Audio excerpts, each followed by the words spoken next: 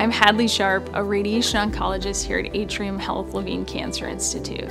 Radiation is used specifically to treat cancer cells that are either known to be in the area or could potentially be in the area after a surgery or after chemotherapy. It's very targeted and we're very specific about where we put the radiation in your body. It's not generally given and it doesn't go throughout your whole body, but is very focused just where the risk might be in a person's body.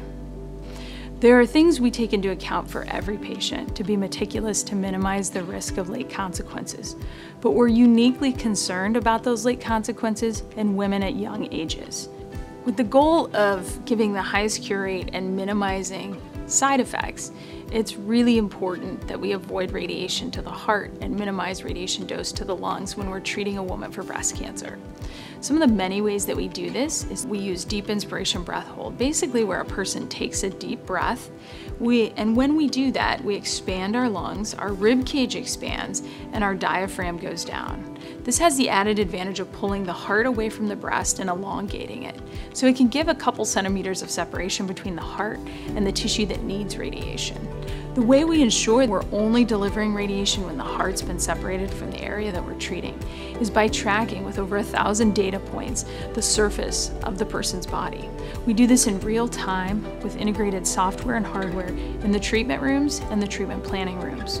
This lets us track and know that we're being very precise and accurate every day that we're delivering radiation. And the treatment machine itself is some integrated imaging that we can use continuously to verify that all these advanced plans we've designed for a person are being delivered exactly the way designed.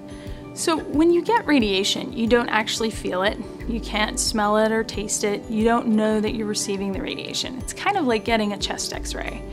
The good part about that is that it doesn't directly hurt, there's no cutting, there's no needles.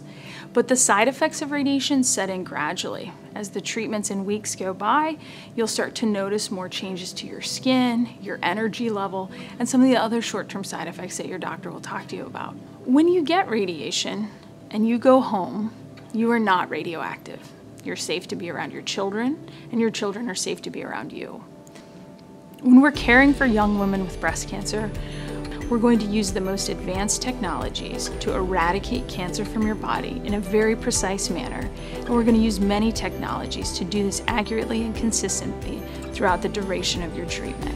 We're going to support you during your radiation treatment, before and after, and take care of the whole person, including some of the additional stresses that can be present, including financial toxicity, caring for your family, maintaining your job, and other challenges that you can have on top of the diagnosis of breast cancer.